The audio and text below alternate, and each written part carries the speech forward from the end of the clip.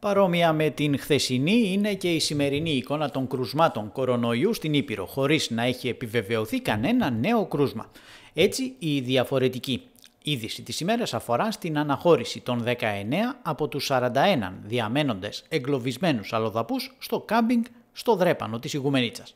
Οι περισσότεροι εξ αυτών Γάλλοι υπήκοοι οι οποίοι αναχώρησαν για τις πατρίδες τους αφού ολοκληρώθηκαν οι διαδικασίες της ασφαλούς προώθησής τους στις χώρες τους με ενέργειες της Περιφερειακής Ενότητας Θεσπρωτείας, των πρεσβειών των χωρών, του λιμενικού σώματος και την παρέμβαση του συντονιστικού οργάνου πολιτικής προστασίας.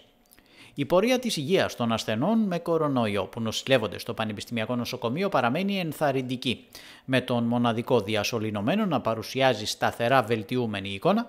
Σταθερή είναι η εικόνα του ασθενούς από την Άρτα, πολύ ικανοποιητική εξέλιξη. Παρουσιάζει η υγεία του ασθενούς από την Κέρκυρα που νοσηλεύεται στη μονάδα Λιμωδών, ενώ σταθερά βελτιούμενη είναι και η πορεία της υγείας της γυναίκας επίσης από την Κέρκυρα που νοσηλεύεται και αυτή στη μονάδα Λιμωδών.